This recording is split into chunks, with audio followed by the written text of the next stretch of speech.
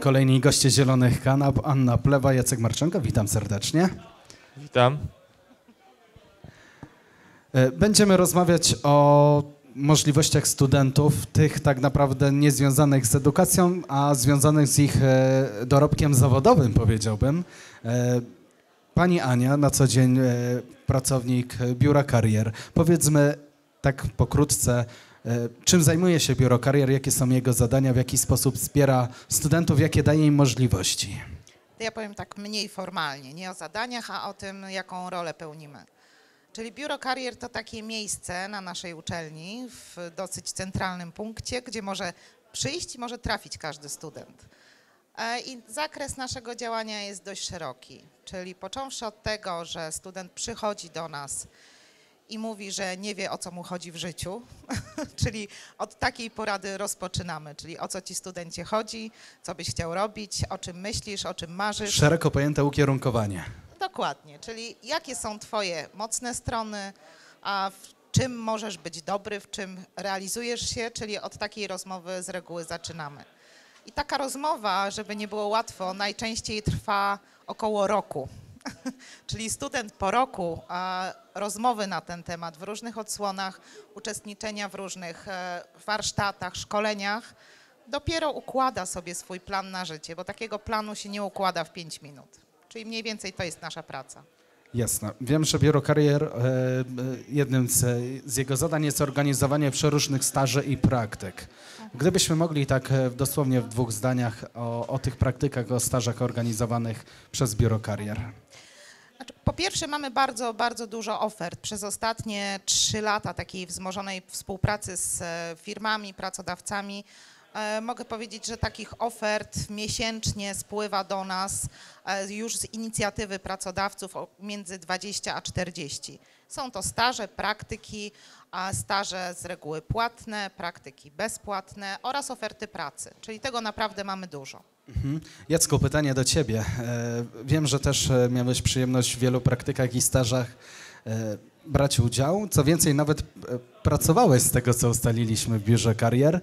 No i wiem, że Twoja ścieżka zawodowa już w pewnym e, stopniu się ukierunkowała i dzięki JobSpotowi, o którym za sekundkę powiem jeszcze kilka e, słów, e, udało Ci się posiąść pracę.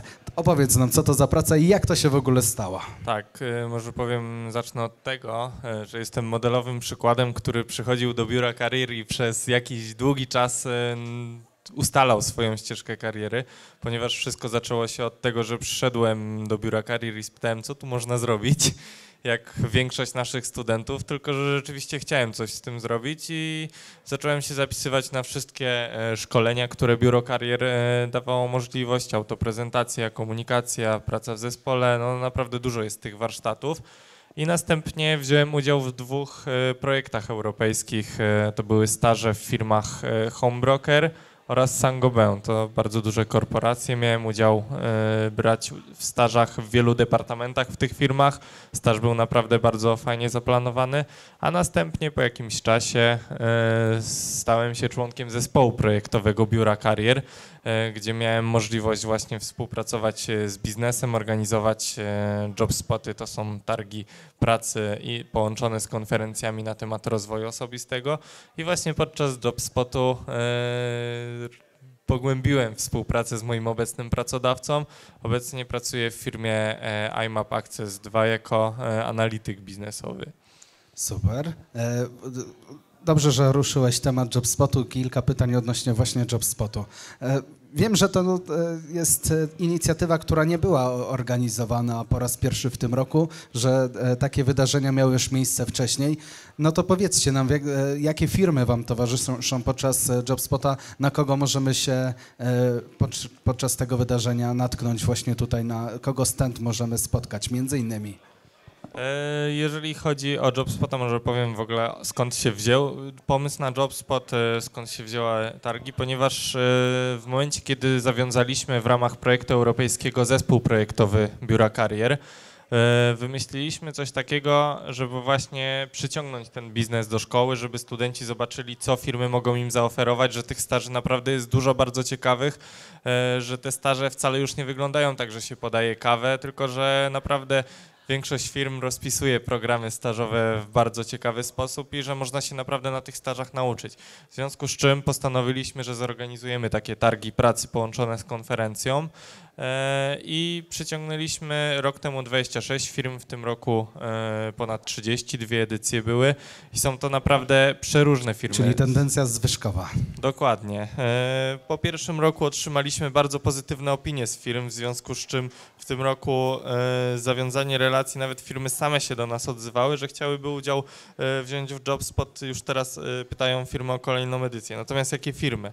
E, Firmy małe, duże, średnie, tak naprawdę jest cały rynek i są to naprawdę ciekawe firmy. W tym roku e, uczestniczyły z nami Bank City Handlowy, Polkomtel, e, Cyfrowy Polsat, e, hotele e, Westin, Sheraton, także dla różnych e, kierunków naprawdę są to bardzo znane, o Microsoft dla informatyków, są to naprawdę bardzo znane, dobre i ciekawe firmy. Czyli można stwierdzić, że tak naprawdę e, stosunek firm jest dopasowany do kierunków studiów także u nas na, w grupie uczelni Wistula, tak? Bo Tak, dokładnie. Zarówno bankowość, jak i informatyka, jak i hotelarstwo, więc jest to tak naprawdę taki dość ciekawy e, zlepek firm, dzięki czemu każdy powinien odnaleźć coś dla siebie. Pytanie Pani Aniu kolejne. E, Czy mamy e, jakiś, jakiś taki przekład, może statystyczny, niekoniecznie statystyczny, odnośnie tego, jak właśnie taki JobSpot e, przekłada się na e, pracę, bądź staże, bądź praktyki dla naszych studentów? Liczby są wręcz zaskakujące i szokujące, ponieważ, popraw mnie Jacek, jeżeli się pomylę, było około ponad 1600 ofert e, stażowych, także nie ma takiej opcji, żeby student chcący coś znaleźć nie znalazł. Oczywiście jest, kolejne etapy są rekrutacji już prowadzone w firmach, a natomiast e, podczas JobSpotu w trakcie całej imprezy z- zostało złożonych ponad 800 CV przez 1100 w tym roku. A no właśnie. Czyli liczby są takie, że, że tak naprawdę widać i widać aktywność studentów i widać mnogość ofert y, od firm. Także hasło pod tytułem nie ma pracy, nie ma stażu jest absolutnie nieprawdziwe. Czyli po prostu kwestia tak naprawdę dobrych chęci i e, uderzenia do odpowiednich drzwi, tak bym to I spuentował. dobrego przygotowania. Studenci, szczególnie przed JobSpotem, była ogromna fala studentów przygotowujących CV razem z nami. Czyli dobre przygotowanie CV, no to jest tak jak dobra wizytówka, tak? To tym sprzedajemy na początku. No właśnie, więc e, Biuro Karier to nie tylko organizacja pracy, zapewnianie tej pracy, czy pomoc w znalezieniu pracy, staży bądź praktyk, ale także ta pomoc już od e, tego zalążka, czyli tworzenie właśnie CV czy dokumentów typu list motywacyjny, które e, bez względu e, na to, gdzie tak naprawdę e, składamy te nasze dokumenty do pracy, one zawsze są nam potrzebne, prawda? Jacku, tak na podsumowanie naszej rozmowy. Rozumiem, że w tym momencie fajna praca. Kontynuujesz jeszcze studia, prawda? E, Już właściwie czekam na obronę. Ach, czyli już, już, na, fin- już na finiszu. Tak. E, powiedz mi tak z perspektywy jeszcze studenta, bądź już prawie nie studenta, jak JobSpot oraz e, całe biuro karier wpłynęło na twoją e, ścieżkę zawodową, na jej rozwój? Tak jak powiedziałem, jeżeli chodzi o e, moją ścieżkę zawodową, no to zawdzięczam w większości właśnie biuru karier, ponieważ wszystkie szkolenia, które przeszedłem, naprawdę bardzo się rozwinąłem i wszystkie staże praktyki były dzięki biuru karier. Dlatego no uważam, że miało ogromny wpływ i uważam, że jeżeli ktoś jest aktywny, jeżeli naprawdę mu zależy, jeżeli chce i nawet nie do końca wie, co chce w życiu robić, to naprawdę biuro karier jest dla niego bardzo dobrym adresem i powinien przyjść i spróbować swoich sił. W ten oto sposób, mieli Państwo, kończymy dni otwarte Grupy Uczelni Wistula. Moimi gośćmi byli Jacek Marczenka, Anna Plewa. Bardzo serdecznie dziękuję Wam za rozmowę. Mam nadzieję do zobaczenia ze wszystkimi Państwem wkrótce na studiach, e, a także w Biurze Karier, do czego bardzo serdecznie zapraszamy.